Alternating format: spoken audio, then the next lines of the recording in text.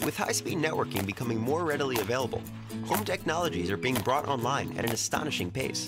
Systems that were once relatively simple standalones are getting connected and becoming parts in a much larger family of networks.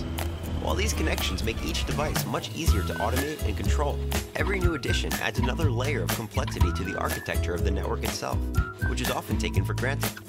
You see, a network is a lot like a freeway, and every car on the road is a piece of data traveling from one device to another. And like a freeway, there can be levels of traffic and even gridlock. In today's home automation systems, with more and more devices sending and receiving data, without a strong network, traffic can quickly become a problem. At WhyReboot, we make managing your network traffic our number one priority. We remove fragmentation, utilize commercial-grade networking hardware, and prioritize data through quality of service to enable fast and reliable traffic.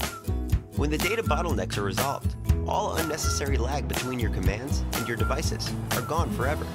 Using our many years of home automation and AV-specific knowledge, WhyReboot is uniquely suited to move your control and media systems out of gridlock and into the fast lane. Give us a call today